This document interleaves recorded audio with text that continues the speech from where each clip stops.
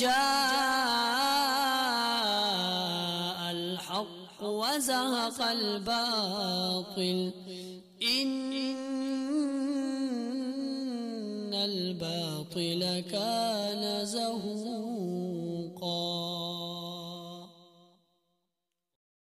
بسم اللہ الرحمن الرحیم السلام علیکم ورحمۃ اللہ وبرکاتہ محترم سامعین، ڈاکٹر عافیہ صدیقی کے متعلق واٹس ایپ گروپس اور فیس بک اور ٹویٹر پر چلنے والے بہت ہی زیادہ خبریں جو سوشل میڈیا پر وائرل ہے کہ ڈاکٹر عافیہ صدیقی افغانستان پہنچ گئی ہے اور افغانستان نے ایک مجاہد کے بدلے اور ڈاکٹر عافیہ صدیقی کے بدلے میں تقریباً سات امریکیوں کو رہا کر دیا ہے۔ یہ خبریں کل سے سوشل میڈیا پر بہت زیادہ وائرل ہے۔ واٹس ایپ گروپس میں بھی بار بار شیئر ہو رہی ہے اور فیس بک پر بھی اور ٹویٹر پر بھی۔ محترم سامعین، ان خبروں میں کوئی صداقت نہیں ہے اور بات صرف اتنی سی ہے کہ ڈاکٹر عافیہ صدیقی کیس کے وکیل کلائیو سمتھ اس وقت اپنے client doctor Aafia Siddiqui case کے سلسلے میں افغانستان میں موجود ہے۔ اور بس اس کے علاوہ سب افواہیں ہیں اور نہ ہی ان کے رہائی کا کوئی فیصلہ ہوا ہے۔ اور بعض لوگوں نے تو یہاں تک ٹرینڈ چلا دیا۔ کہ ڈاکٹر عافیہ صدیقی افغانستان پہنچ گئی ہے۔ دو دن سے یہی انقریب انقریب کہہ کر کہ انقریب اس کی ویڈیو میں آپ لوگوں کے ساتھ شیئر کروں گا۔ اور ابھی ہم آپ کو وہ ویڈیو دکھاتے ہیں اور کچھ دیر کے بعد وہ ویڈیو ہمیں موصول ہو جائے گی۔ ابھی آ جائے گی، ابھی آنے والی ہے۔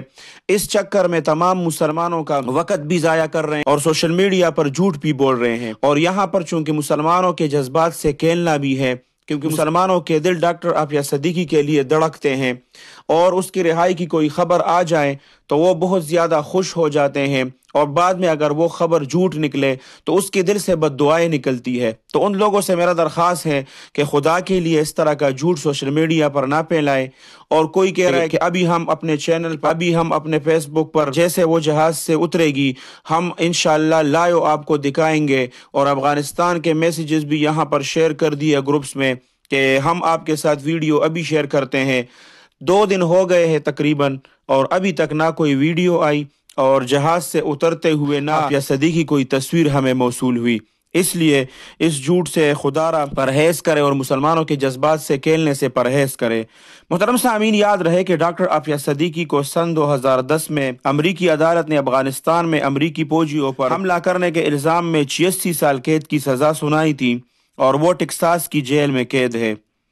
امریکہ کے دعوے کے مطابق ڈاکٹر عافیہ صدیقی کو افغان جنگ کے دوران افغانستان سے گرفتار کیا گیا تھا اور ڈاکٹر عافیہ صدیقی پر امریکی فوجی کے قتل کا الزام عائد کیا گیا تھا۔ تاہم، ڈاکٹر عافیہ صدیقی نے ہمیشہ اس الزام کی تردید کی ہے اور یہ جھوٹا الزام ان پر امریکہ نے لگایا ہے۔ اللہ سبحانہ و تعالیٰ سے دعا ہے کہ ہماری بہن ڈاکٹر عافیہ صدیقی وہ جلد سے جلد رہا ہو جائے۔ لیکن مسلمانوں سے درخواست ہے کہ اس طرح کا جھوٹ سوشل میڈیا پر ہرگز نہ پھیلائے اور اس سے مسلمانوں کے جذبات کو ٹھیس پہنچتا ہے۔ اس لیے دعا کر سکتے ہیں کہ فلسطین کی مسلمانوں کو بھی اللہ سبحانہ و تعالی حفاظت فرمائے۔ اور دنیا میں جتنے بھی مسلمانوں پر مظالم ہو رہے ہیں، اللہ سبحانہ و تعالی ان کی حفاظت فرمائے۔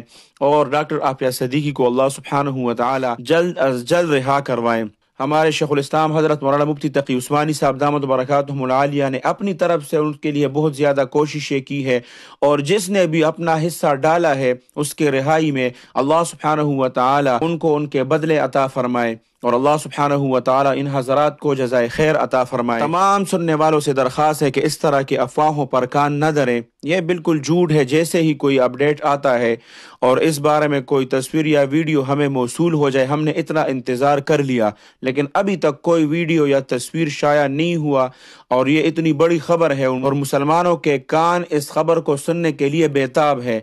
تو اگر اس طرح کی کوئی ویڈیو یا تصویر شائع ہو جاتا تو فوراً وہ وائرل ہو جاتا، لیکن ابھی تک کوئی تصویر، نہ کوئی ویڈیو وائرل ہوئی ہے اور نہ کوئی ویڈیو، آڈیو یا تصویر کے ذریعے ڈاکٹر عافیہ صدیقی کے افغانستان میں ایئرپورٹ پر پہنچنے یا اترنے کی کوئی ثبوت نہیں ملا۔ اللہ سبحانہ و تعالی آپ سب کو اپنے حفظ اور امان میں رکھے، اپنے خصوصی دعاؤں میں یاد رکھے۔ السلام علیکم ورحمۃ اللہ وبرکاتہ۔